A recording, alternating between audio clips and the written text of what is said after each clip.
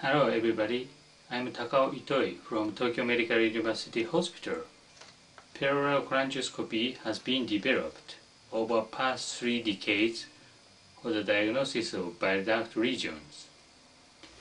However, the image resolution of previous peroral cholangioscopy is limited using fiber optic systems.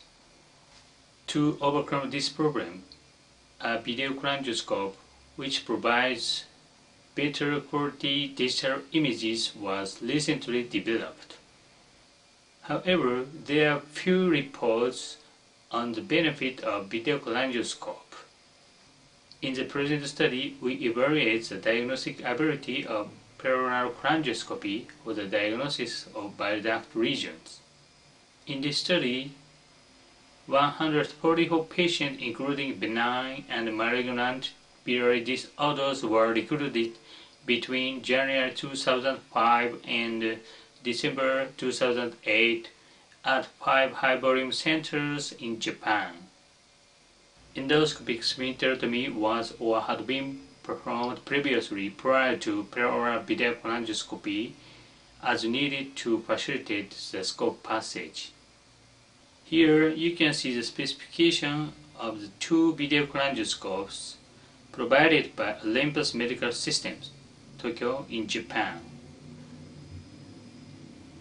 CHF B260 and CHF BP260 with outer diameter of 3.4 and 1.2 mm and working channel diameters of 2.8 and 0.8 mm respectively. They were advanced through the 4.2 mm working channel of the therapeutic duodenoscopes into the bile duct with or without going over a 0.035 inch guide wire. The duct was irrigated through the working channel with sterile saline solution during the procedure. Then, we evaluate the cholangioscopic finding as follows according to the previous studies. Malignant findings are uh, irregular thick tortuous vessels, easy oozing of blood, irregular papillogranular surface, and nodular elevated surface like submucosal tumor.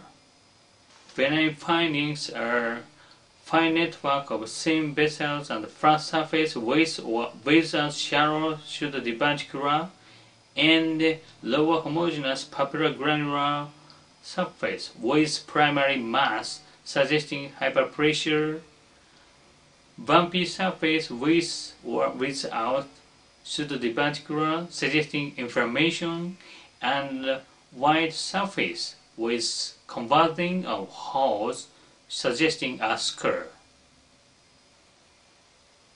After observation of peroral video cholangioscopes, biopsies from the duct region were attempted using a three French biopsy forceps as needed.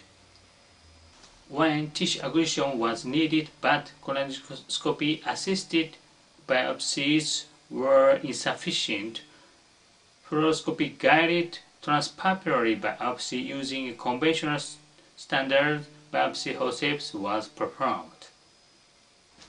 Totally ERCP tissue sampling plus peroral video cholangioscopy correctly identified 95 of 96 malignant regions and 23 of 24 benign lesions.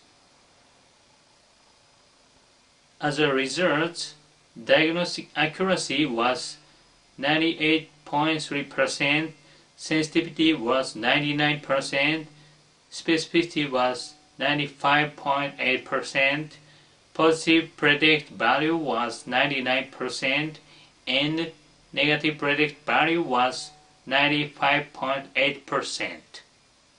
In conclusion, peroral video cholangioscopy provided diagnostic accuracy by excellent resolution combined with biopsy.